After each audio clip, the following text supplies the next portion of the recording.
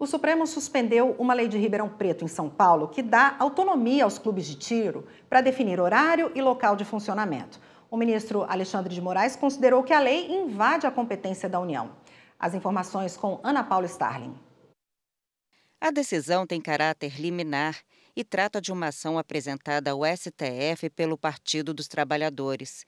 O PT alega que a lei do município de Ribeirão Preto se apropriou de competência exclusiva da União para autorizar e fiscalizar a produção e o comércio de material bélico. Segundo o partido, a norma também abrange a circulação e utilização das armas de fogo sob qualquer forma, incluindo o funcionamento dos clubes de tiro, que tem como única atividade fim promover o uso recreativo dos cidadãos com material bélico.